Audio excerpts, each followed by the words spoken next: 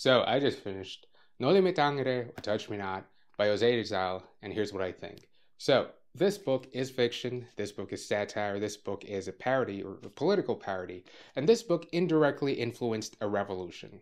Now, this book is about the unfair treatment of the Spanish government um, during the Spanish colonization of the Philippines. So, uh, this book really tackles a lot of issues, a lot of uh, the corruption and abuse of power by the Spanish friars during that time. Now, the author, Jose Rizal, was heavily influenced by European literature, and you could clearly see that here. Um, you could see his inspiration that he, the inspiration that he took from Les Miserables, from The Count of Monte Cristo. Now, the author, Jose Rizal, is a national hero of the Philippines. Now, he was executed on December 30, 1896, by the Spanish government for treason. Now, this book was originally written in Spanish, but I got the Penguins Classics version translated by Harold Augenbraum. And I could honestly say this is a fantastic edition. The introduction was filled with information, every, pretty much everything you need to understand the political climate of the Philippines at that time and really the motivations and ideals of the author. Fun fact this is actually required reading for high school students in the Philippines as well. This book has a lot of history involved, and to understand and appreciate it to its fullest extent, you might need to know like bits and pieces of information about the political climate of the Philippines during the Spanish colonization. Now, you could look that up on Wikipedia, but I highly suggest that you read the introduction. You get a little uh, information about the author, and then you also like get a lot of information about the Spanish government during that time and the Philippines. This book has a decent story. In my opinion, it was pretty mediocre. I mean, the prose was excellent, it was beautiful, but at times, like the message that it was trying to send can be too in your face, at least for my taste, because there was absolutely no subtlety here. Now, the purpose of this novel wasn't subtlety, it wasn't metaphors, it was basically to serve as a wake up call for his countrymen. I mean, this indirectly influenced a revolution. So, yeah, I get it. But judging it as a novel, judging it as a story, this can be a bit melodramatic. This reads like a soap opera, really. The characters are all one dimensional. The the antagonists constantly monologue about their evil plans and well, I understand why he wrote it this way because it was what was needed at the time. Now, reading this, I felt his anger, his frustrations towards the unfair treatment of his people, but also anger towards the people for being so blinded by this abuse. It's like he was going like, "Hey, look, look, look here. This is what they're doing to us." So this is arguably one of the most important novels in Philippines history.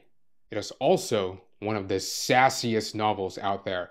Each page is riddled with sarcasm and mockery, like every moment is spent throwing shade at the colonial government and the Spanish friars' corruption and abuse of power. This book was funny as hell. Again, it was a little too um, in your face to be considered witty, but oh, by the way, this this is a duology.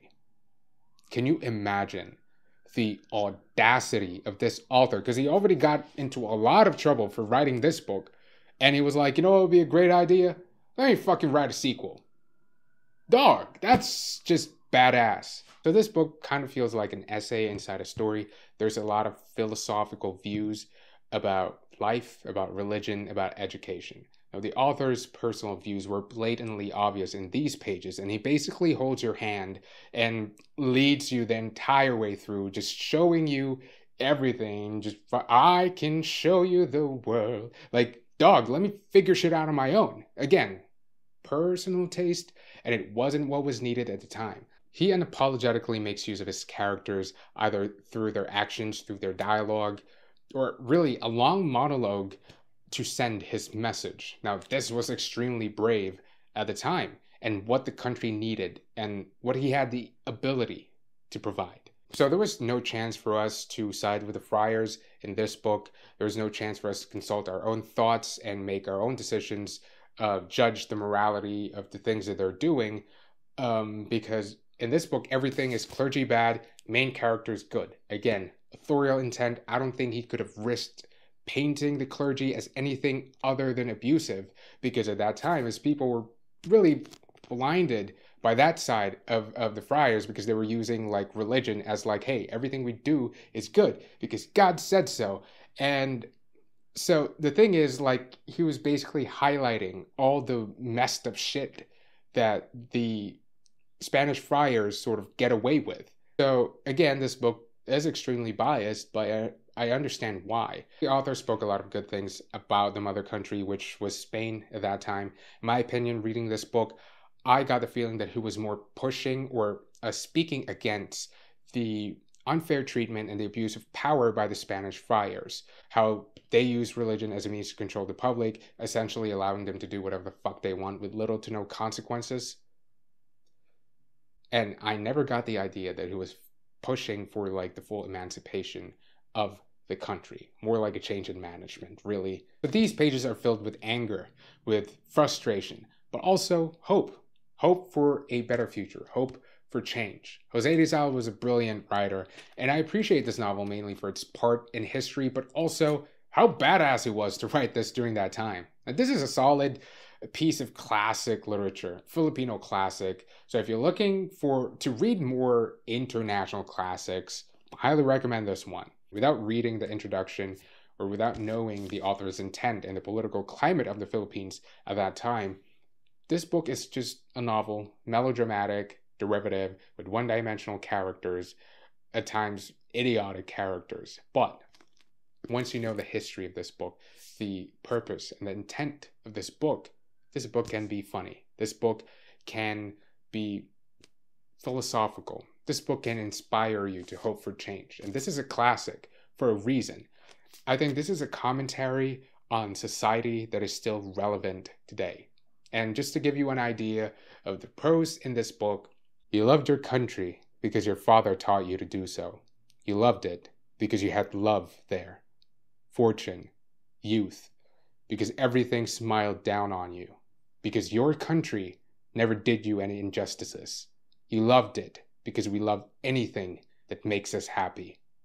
But on the day you find yourself poor, hungry, persecuted, denounced, and sold out by your own countrymen, on that day, you will renounce yourself, your country, everything. Dog. So, yeah, that's the kind of writing in this book. And, anyways, I'll see you soon. Peace.